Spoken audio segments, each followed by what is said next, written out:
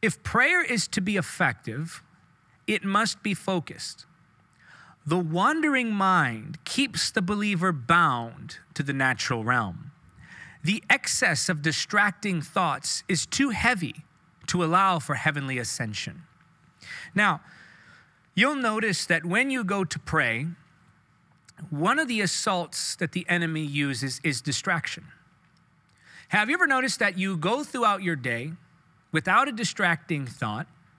And then all of a sudden, when you go to pray, when you finally say, I'm going to commit this moment now to the Lord that I might focus on Him, that I might seek His face in prayer, that suddenly all of these thoughts begin to bombard your mind. Distractions, the cares of this world, responsibilities, relationship issues, questions and doubts and concerns. Thoughts just begin to wander through your mind, and it can be very difficult to grab hold of those thoughts and pull them in under subjection to the Spirit. And what begins to happen is as you're trying to pray, you become so distracted, not just even by the thoughts themselves, but you become distracted at the battle against those thoughts. So there's almost two layers to it. The thoughts themselves are distracting, bombarding your mind, and then we get distracted by another layer of distraction. We become frustrated that we have to fight those thoughts in the first place, and we begin to feel guilty or ashamed, or we feel condemned, or we feel like we're not doing a good job because these thoughts are being thrown into our minds. We deal with worries, we deal with doubts. All of these thoughts I call inner chaos, and they clutter the mind. Now, it's interesting because we say things like, well, all day I was perfectly fine. But it wasn't until I went to pray that suddenly all of these thoughts showed up. Well, that inner chaos, my friend, didn't show up when you started to pray. That inner chaos was revealed when you started to pray. You just were never quiet enough to hear what was going on inside of you. Well, no wonder we're walking around feeling lowly. No wonder we're walking around filled with fear. No wonder we feel so distracted spiritually. We have inner chaos with us, and we don't even recognize it because we're never still or quiet enough to hear what's going on inside mm-hmm. of us. So, again, it's not that that distraction, it's not that that inner chaos suddenly appears when we start to pray. Rather, it's that that inner chaos is suddenly revealed when we begin to pray. Now, how do you focus the mind? Because it's one thing to point out a problem, distraction worry, doubt, but it's another thing to present a solution. So, if you've ever dealt with that when you go to pray, just this bombardment of a series of thoughts that just distracts you and keeps you from focusing on the things of God while you pray, I'm going to give you keys to overcoming that problem with focus. Number one, the first key to overcoming distraction, number one is silence. Matthew 6 6 says, But when you pray, Go away by yourself, shut the door behind you, and pray to your Father in private. Then your Father, who sees everything, will reward you. Jesus, here in Matthew 6 6, is speaking of private prayer, prayer that's secluded, prayer that's secret. Only those who actually believe in prayer pray privately. Why? Because if I don't believe in the power of prayer, then why am I going to pray in private when there's no one around to impress? So you see, it's when you go to those secluded places that you're proving you believe in prayer. Those who believe in prayer actually pray. And so it is doubt that keeps us from going to the secret place. And we may not even realize that it's doubt. And so that silence that we find in the secret place actually cultivates an atmosphere in which we can more clearly hear the Lord. You see, prayer and focus on prayer doesn't cause God to speak, it causes us to recognize and hear more clearly. So, if we are to focus in prayer, if we are to overcome these distracting thoughts, then we, number one, need silence. Now, silence is a very practical thing. I set the atmosphere. I shut the door. I seclude myself. I turn off the cell phone. I turn off the television. I communicate with my loved ones that I'm not to be disturbed for that moment of prayer. And you carve out a section of your day in which you say, This belongs to God. This is God's portion. Now, of course, you can pray 24 7 all throughout the day, and that's one form of prayer. But what I'm talking about here is that very intentional form of prayer where you carve out a section of your day, you carve out a place that you can bring forth silence in, and in that moment, in that atmosphere, you're praying without distraction. Now, silence is good because silence gets rid of all the distractions around you. But silence doesn't get rid of the distractions within you. You see, silence will help you get rid of outer distractions, but only stillness can quiet the inner distractions. But without silence, in the first place, you would never know what was going on inside of you. Think about the fact that we live such fast paced, distracted lives that we hardly have a moment of pause in which we can consider all that we're thinking of. Have you ever really gone to a quiet place, put aside distractions, and just listened to your own thoughts? Think about how we constantly put distractions before us. We're constantly before screens. We're constantly communicating. We're constantly consuming media and data and information and music and interactions. We are constantly stimulating the mind with all sorts of things around us.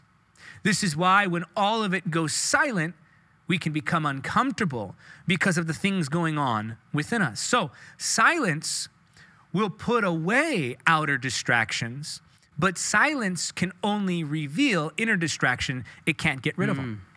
Hmm. So silence can get rid of maybe a conversation that would distract you from prayer. Conversation, uh, silence can get rid of what you're looking at on social media, how you're constantly checking your phone, how you're constantly checking the computer, how you're constantly looking for something to stimulate your mind externally. Silence can put that away. But only stillness can quiet the inner man. You see, silence, that turns my phone off. But how do I turn my thoughts off? How do I turn those distractions off? How do I turn worry off? How can I turn off doubt? How can I turn off cynicism? How can I turn off shame? And all of these things that prevent us from entering the secret place of prayer. Well, in order to focus, we must number one, practice silence. And this is a practical but effective means of bringing focus to our prayer lives. That is to intentionally set the atmosphere so that distractions from the exterior realm do not affect us. Mm. Now, these next two keys that I'm going to give you in regards to focus have to do with quieting those inner thoughts, that inner chaos of the mind. So, first is silence. Number two, the prayer request. Mm-hmm. Philippians chapter 4, I'm going to read verses 6 and 7. Don't worry about anything. Instead, pray about everything. Tell God what you need and thank Him for all He has done. Then you will experience God's peace, which exceeds anything we can understand. His peace will guard your hearts and minds as you live in Christ Jesus. Now, this is a powerful key, but it's often overlooked. You know, in the church, Sometimes we embrace superstitious cliches that sound spiritual but aren't actually biblical. One such example is this cliche that you should never ask God for anything. Don't ask God, just thank Him. Don't ask God that shows you're not grateful. Stop always asking God to do for you and give to you. But, but do you realize that your Heavenly Father wants to bless you? Your Heavenly Father wants to provide for you. Your Heavenly Father wants to give to you, and that's why He's given us the prayer request. So the Bible says, let's break it down now. Don't worry about anything, instead, pray about everything. Do you realize that worry is a useless attempt at control? Worry is the flesh's powerless counterfeit for prayer. I want to say that again. Worry is the flesh's powerless counterfeit for prayer. Hmm. Your spirit prays, your flesh worries. Your spirit gives it to God through prayer. Your flesh tries to control the situation through worry. And some of us confuse worry for prayer. We think that because we're thinking about it, obsessing over it, that we're therefore praying about it. But that's not the case. The flesh worrying is an illusion of control. The flesh worrying is an illusion of productivity. Jesus said, Who can add any more height to his stature just by worrying? In other words, he's saying it's futile, it's useless, it doesn't actually produce anything. Worry just works you up. It doesn't actually cause anything to happen. But our human nature says to us that if I can think about this enough, if I can obsess over this enough, maybe somehow, some way, by thinking about it, I can either A, keep myself from being caught off guard, or B, prevent it altogether.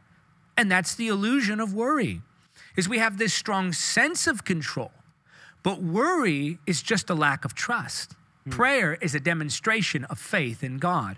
And so worry is the flesh's powerless counterfeit for prayer. And the Bible says, don't worry about anything. There's nothing that should cause you to worry. Instead, pray about everything. Mm-hmm. Now, watch this great exchange here. Tell God what you need, that's the request, and thank Him for what He has done. That's giving Him praise for what He's done. I request, God, please provide. God, please work a miracle. God, I'm asking for your intervention. Well, at the same time, I'm praising him for what he's already done. So we see in scripture that it is actually quite possible to be thankful for what God has done while also asking him for more. So we have to get rid of that cliche, that, that superstition. Oh, don't ask God for anything. Don't, don't ask God to perform for you. He's already done enough. No, no, no. Our Father is generous. Our Father is giving. Which one of us who are parents wouldn't want to keep giving to our children? We don't say, I, I, I gave you food and shelter and clothing. That's all you need. I don't want to give you anything else. No. As parents, we want to give good gifts. We want to not only provide for needs, but also in some cases, not in every case, in some cases, we also want to provide for their wants. And our Heavenly Father is the same way. It's the giving nature of the parent. And so our Heavenly Father wants to give, wants to pour out blessing, wants to give us favor in our lives, but we must practice gratitude. So don't worry about anything. Instead, pray about mm-hmm. everything. Pray about that job you want. Pray Come about on. the rent that's due. Pray for the healing of that sickness. Pray for the wayward child. Pray for the battle in your mind. Pray about everything. Give it to Jesus and thank Him for all he has done. Watch this now. This is so powerful. This is the key portion of the scripture. Remember, I'm giving you a key to silencing that inner chatter, that inner chaos, the inner distractions of the mind and emotion. Then you will experience God's peace. Wow. When will I experience God's peace? After I've had a prayer request. After I've made my request, then I will experience God's peace, which exceeds anything we can understand. Prayer is like climbing a mountain. Remember, God told Moses, Come up to the top of the mountain. And the Bible says that as Moses ascended to the mountaintop, mm-hmm. he disappeared in the cloud. That's what happens to us. God invites us to the top of the mountain. And as we ascend the heights of prayer, we disappear in the cloud or in the Holy Spirit. We cease to be. Now, prayer is like climbing that mountain. And some of us tried to climb that mountain carrying a backpack over our shoulders. And we carry these burdens with us and we try to climb that mountain with the distractions and the weights of responsibility holding us down, pressing us into the dirt crippling our prayer lives. We can't have any movement. And if we do have movement, it's very little because we are so weighted by the cares and distractions of this world. And we're trying to ascend the heights of God's glory while carrying the weight of the world. It cannot be done. And so, as I'm climbing the mountain and I have this weight on me, this bag on me of all the things that have piled up in my life, what I actually do when I make a prayer request is I remove the bag from my shoulder and I put it in the Lord's hands. And then I'm free. Now, here's the mistake many believers make. And this is actually where that cliche comes from. Don't ask God for anything. This is where the cliche comes from. Because many believers will pray, they'll unburden themselves. They'll take the bag off their shoulder and they'll give the bag to Jesus through means of the prayer request. And then here's what happens we remove the bag. We say, okay, Lord, now you take it. The Lord takes the bag. And then we say, okay, Lord, I'll see you later. And then we go back to the valley. We go back down the mountain. Now, wait a minute. God lifted those burdens not so that we could stop climbing. God lifted those burdens so that we could continue to climb unhindered. So some of us come to the Lord, we say, Lord, I'm carrying this, I'm carrying this weight, here's my distractions. You give him your distractions, he takes them from you. And then we say, Thanks, Lord. I feel so much better. We feel that lifting of the burden in prayer. And then we say, Thank you, Lord. Goodbye. And we leave not realizing that God removed the burden, not just so that we could go back to everyday life, not so that we could go back to the valley. God didn't remove that burden so that you could go back down to the valley. God removed that burden so that you might continue to climb to higher heights on the mountain. Hmm. And so, peace is not the conclusion of prayer. That's the problem with some of us. We pray until we have peace. We give Him our burdens, we remove the distractions, and then, ah, I feel so good. My heart is filled with peace. Wonderful. Thank you, Jesus. Okay, Lord, I'll see you later. No, no, no, no, no. Peace is not the conclusion of prayer, it's the entryway. So we remove those distractions from our mind by the means of prayer requests. And then once those distractions have been removed, now we can climb to the top of the mountain. The problem is, some of us, once we've had that burden lifted, we go right back down. Hmm. And this is not the way that the Lord intended us to approach prayer. So when you unburden yourself by means of the prayer request, you're actually coming to the place where your focus now, your focus can be on Jesus and not on the responsibilities, not on the cares, not on the worries, not on the doubts. But on Him. And the way you focus is through silence, the prayer request, and number three, worship. Isaiah 26 3 says something so powerful. The Bible says, Thou wilt keep him in perfect peace, whose mind is stayed on thee, because he trusteth in thee. That's a promise. That's a promise from the Word of God. That if my mind is focused on him, He'll keep me in perfect peace. Hmm. Thou wilt keep him in perfect peace, whose mind is stayed, focused, steadfast, given to the attention of on thee. So when we look to Jesus and we keep our minds on him, everything else fades into the background. Worship is the key to still the mind and the soul. So Amen. do the practical first. Silence the room, silence the atmosphere, set aside all outer distractions, but then you must unburden yourself with the prayer request. Let the peace of God fill your heart, and then begin to worship. You see, we praise God for what He does, but we worship Him for who He is. So when I've found that quiet place, hmm. And when I've gone to this secret place and I put aside the television, I turned off the phone, I've told my loved ones to leave me for that time, when I've carved out that section of my day, then I can make my prayer requests. When I make my prayer requests, I give God my burdens. He fills me with His peace. Oh my goodness, now I'm focused. Amen. I can worship Him. I'm, I'm leaving behind the cares of this world. And even as you worship, some of those burdens that maybe weren't completely lifted when you were making your prayer request, because sometimes we give God the bag, but hold on to some of the things that we were carrying in the bag. Worship just liberates you. And worship is not about us, mm-hmm. but it does affect us. Mm-hmm. Worship just liberates you from the cares of this world because you are so captured your attention, your mind so fascinated by his being, who he is, that now I see the light of his glory. And the light of his glory is so bright, so brilliant, so magnificent, so beautiful, so captivating. Everything in the background begins to fade. All the troubles, all the worries, the wind of the Spirit takes you to higher plateaus. And as you ascend, all of the chaos of the world gets left beneath you. Mm. That's what it's like to truly worship. You're being raptured into who He is, mm-hmm. into the splendor of His glory. You're being taken up into that beautiful place with the Lord. Thank you for watching Encounter TV. Don't forget to subscribe and click the notification bell. Also, help us spread the gospel of Jesus Christ in the power of the Holy Spirit. Make a one time donation or become a monthly supporter by clicking on the donate link now.